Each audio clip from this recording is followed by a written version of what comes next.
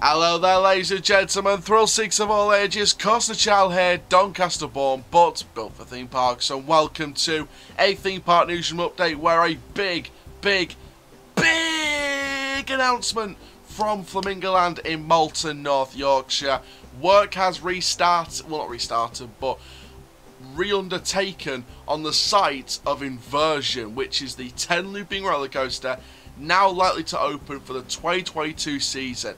Now I've got some details to share with you, but via forum posts from different, various different forums. Can't name them all, but various different forums uh, has been reported on now.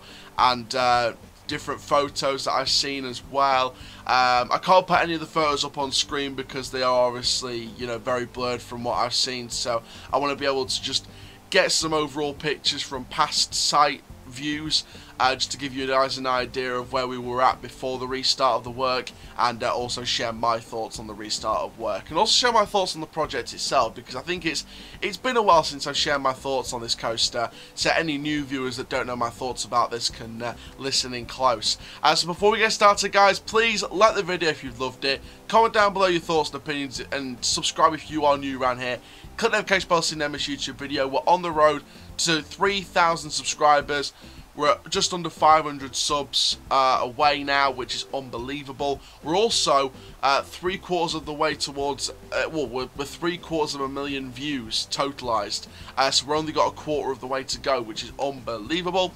Also, guys, check the description down below for social media links and the Google Forms link where you can submit your own ideas for the channel.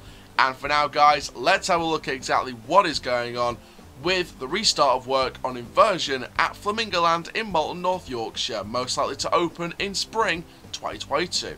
So this has been done over the last 24 hours, but the latest post from Theme Park Insanity states that work is set to be restarting and work is continuing on uh, on the work on inversion steadily after recently picking back up again on the site having delayed new edition inversion with ground crews seen pouring concrete and working on the ride's overall landscaping crews have also been recently seen working in and around the troughs for the dives in and out of the Cobra roll.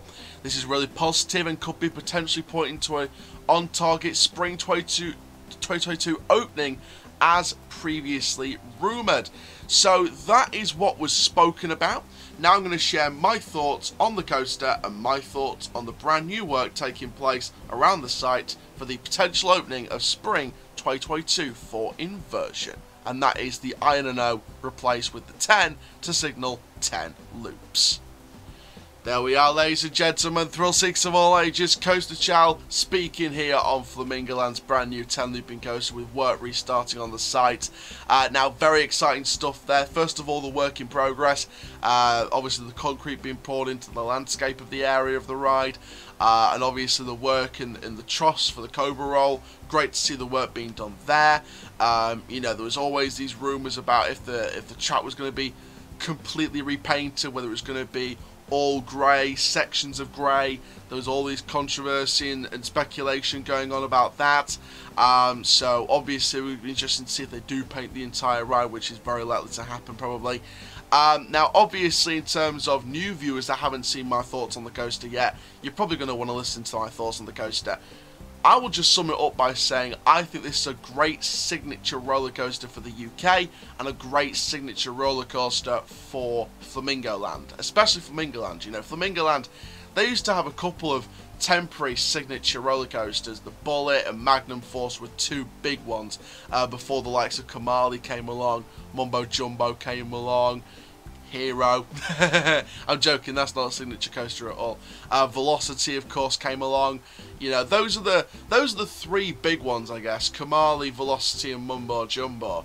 And obviously you had the corkscrew in the end, and then obviously that when there was all these rumours in 2012 or around the 2012 sort of time uh, for a children's play area to be installed on the site of the corkscrew. But now we've got this 10 looping coaster stretched across the former temporary car park or part of the temporary car park area and of course the corkscrew site and stretching from from there to there removing all these classic rides uh, relocating a couple of uh, kids rides as well so you know, a couple of rides biting the dust like the cycle monorail, uh, a couple of rides being relocated like the old teacups and things like that. So, you know, obviously a few rides either being relocated or biting the dust for this. So, you know, obviously this is going to be a wonderful investment for the Flamingoland Park, and I think a wonderful investment for the UK as well. And think of it, 2022 could be an even bigger year for the UK because Southport Pleasureland is going to get this brand new Zamperla Thunderbolt coaster next year.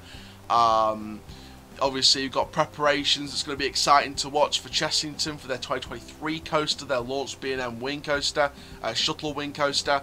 Um, of course, any other investments that pop up over 2022 in the UK, we'll check them out.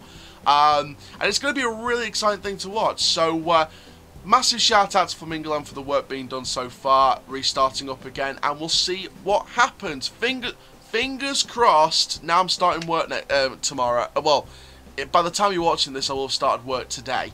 Um, but uh, as I'm recording this tomorrow on uh, for the Monday, um, hopefully, fingers crossed. Uh, now I'm starting work, I can um, hopefully get be able to get down there in March 2022 to Flamingoland and uh, see the opening of this coaster. So, uh, big up Flamingoland for the work. There we go, guys. Thank you very, very much for watching this video. Make sure you like, comment, subscribe, and for more, my name is Coaster Chall, Killing the coast Life. I'll see you guys next video very, very soon.